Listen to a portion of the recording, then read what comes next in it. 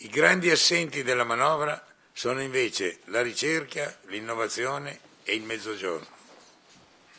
Sotto il primo profilo rileva il mancato rafforzamento del credito d'imposta introdotto con la legge di stabilità 2015, che è invece indispensabile per favorire gli investimenti di imprese nazionali ed estere.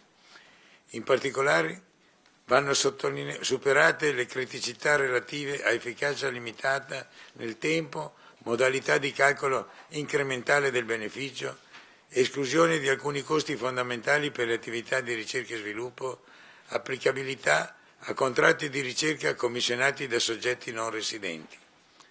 Va inoltre sottolineato che a quasi un anno dalla sua introduzione non è ancora utilizzabile dalle imprese il patent box perché mancano gli ultimi provvedimenti che ne consentono l'accesso e per le incertezze interpretative non ancora risolte.